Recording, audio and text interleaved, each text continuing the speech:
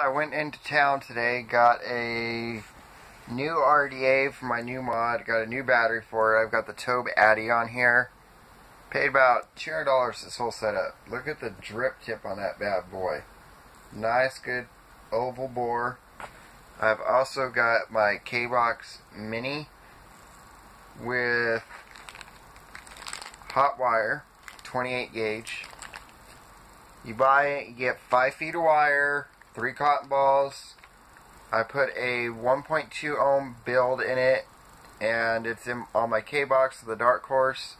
I want to see how she rips.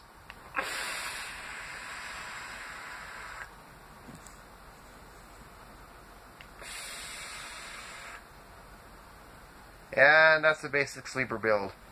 At 35 watts, at 6.4 volts. Bye.